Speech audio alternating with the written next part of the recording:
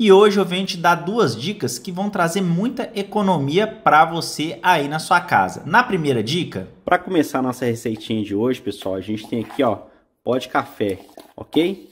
Então aqui a gente está utilizando aqui basicamente 4 colheres de pó de café. Se você quiser, você também pode fazer menos. Pode colocar aí duas colheres, mas logicamente você vai colocar apenas meio limão, tá?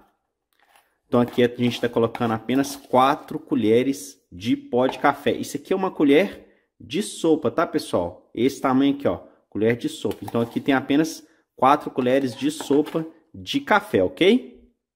Então aqui também nós vamos utilizar um limão, tá? Esse aqui é o limão Tahiti. Você pode estar utilizando o limão que você tiver na sua casa, ok? E nós vamos precisar também de álcool, ok? Aqui eu estou utilizando o álcool 70, mas você pode utilizar o álcool 40, você pode utilizar qualquer tipo de álcool você tiver na sua casa, não tem problema nenhum. Ele vai ser muito importante para potencializar essa receitinha que a gente vai fazer aqui agora. Então aqui agora eu vou aproveitar essa colher aqui, tá um pouquinho suja mesmo, mas não tem problema não.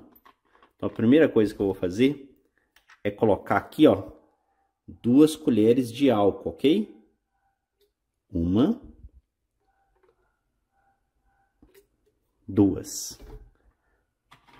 Perfeito.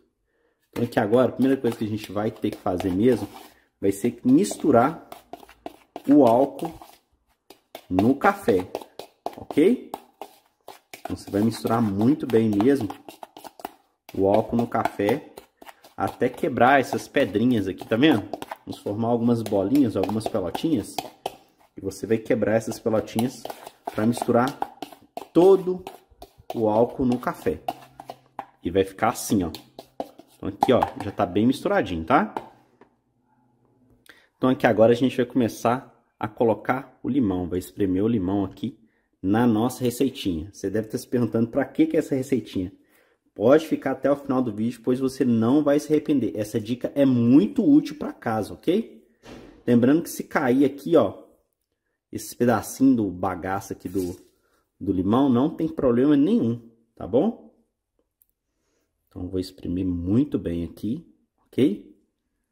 Então, o primeiro já foi. E agora eu vou começar a espremer o segundo limão. Se você tiver algum tipo de alergia, limão, alguma coisa assim, você pode estar utilizando luvas também, tá? Aqui não é meu caso, não tem nenhum tipo de alergia no limão, só vou lavar a mão depois mesmo e não tem problema. Então, perfeito. O bagaço ficar aqui você pode deixar, não tem problema. E a gente vai misturar aqui agora. Você deve estar se perguntando, Márcio, para que que essa receita que você está fazendo hoje, ó? Pessoal, Muitas vezes você coloca aí na sua geladeira pedaço de cebola, coloca algum tipo de alimento que causa aquele cheiro, aquele odor desagradável na geladeira. Essa receitinha aqui, ó, é para evitar que isso aconteça. Então, se você tem algum alimento aí que está causando odor na sua geladeira, aquele cheiro desagradável na sua geladeira, isso aqui, pessoal, vai ser maravilhoso para afastar qualquer tipo de odor da geladeira da sua casa.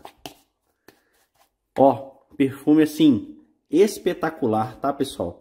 Então, é muito simples. O que a gente faz?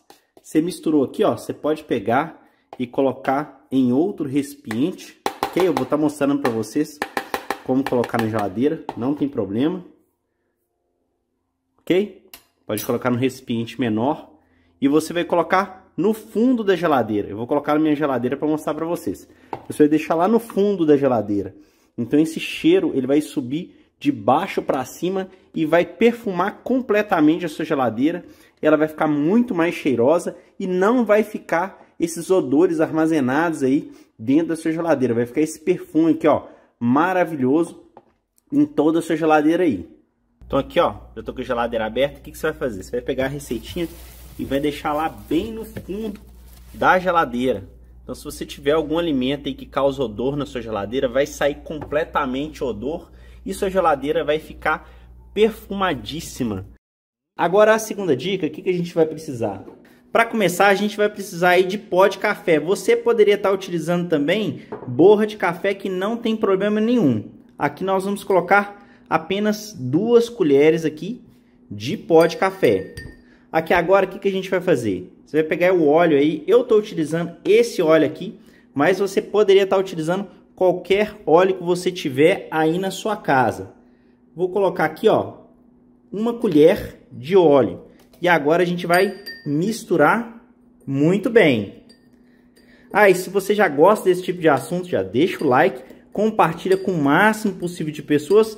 E se você ainda não está inscrito aqui no canal, caiu aqui de paraquedas, se inscreva e acione o sininho aí, marcando a opção de todas as notificações, pois sempre que eu postar uma dica nova aqui no canal, você vai ser avisado aí pela plataforma. Então depois de misturar muito bem, vai ficar assim, ó. Tá vendo? Aí o que, que a gente vai colocar aqui agora, pessoal? Nós vamos adicionar cravo da Índia, ok? Então aqui eu coloquei duas colheres de café, vou adicionar aqui, ó, saquinho inteiro aqui de cravo da Índia. E é muito importante que você misture muito bem dessa forma que eu estou mostrando aqui para você. Aí o que, que nós vamos precisar?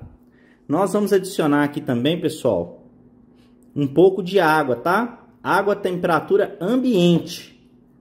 Não precisa ser água morna, não. Pode ser água a temperatura ambiente. Então a nossa mistura vai ficar com essa consistência aqui, ó.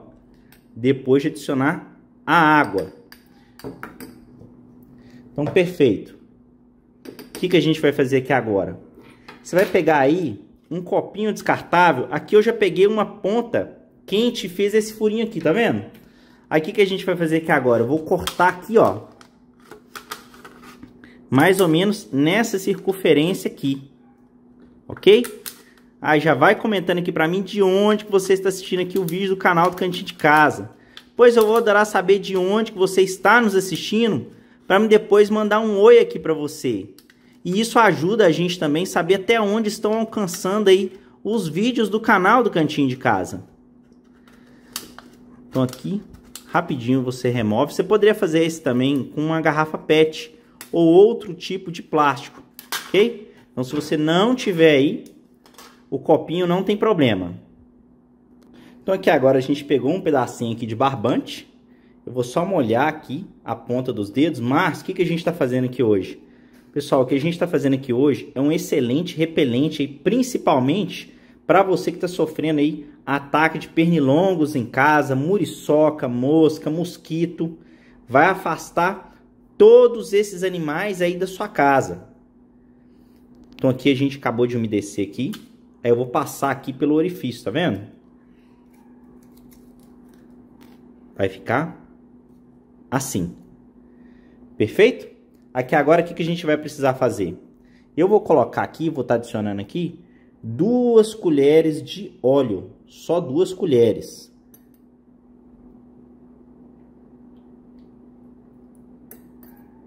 Vou colocar até três colheres aqui. Vai ficar mais cobertinho aqui.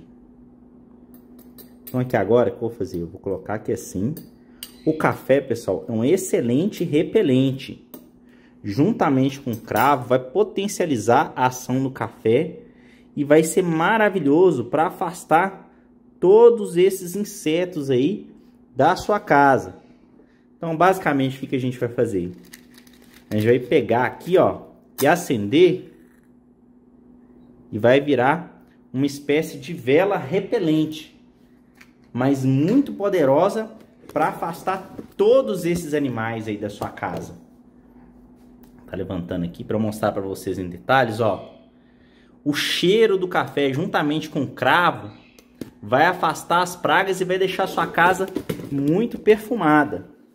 Então se você gostou dessas duas dicas simples aí para você aproveitar na sua casa, já deixa o like, compartilha com o máximo possível de pessoas e deixa um comentário para mim o que, que você achou dessa dica aqui e se você animou fazer na sua casa. Essa dica aqui eu acho muito mais fácil do que aquela outra dica que eu dei para vocês. Então aquele abração para você, fica com Deus e até o próximo vídeo.